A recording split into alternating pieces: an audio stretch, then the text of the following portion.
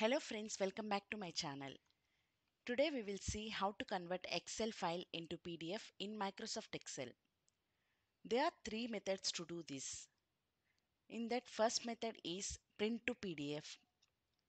For this first go to file,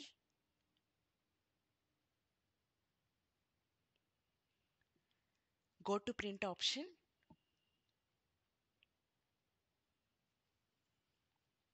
Under printer, select Microsoft Print to PDF.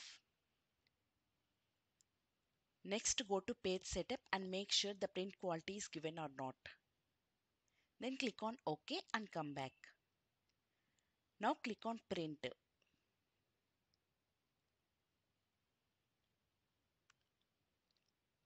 And select the folder you want to save.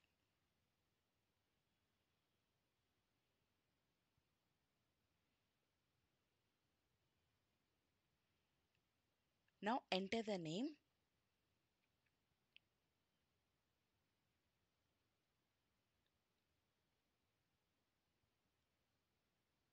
And click on save.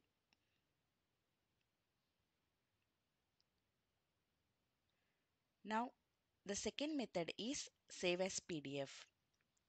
Save as PDF is another way to convert to PDF, especially if you are running on older versions of Windows.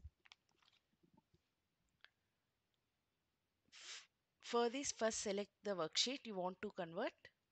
Then go to File. Go to Save As. Type the name.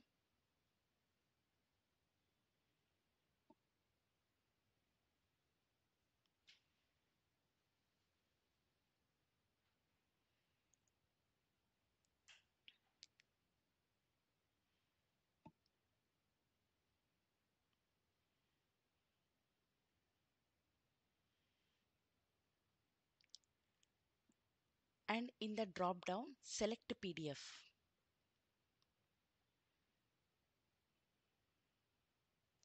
Then click on save the PDF we saved.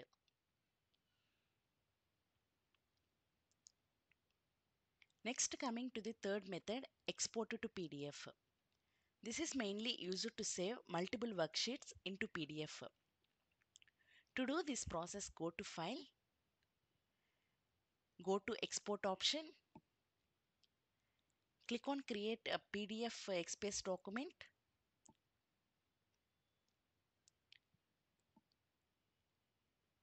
Now set up to export all worksheets. Go to options, select entire workbook, click on OK. Then name the PDF and select the type as PDF now click on publish.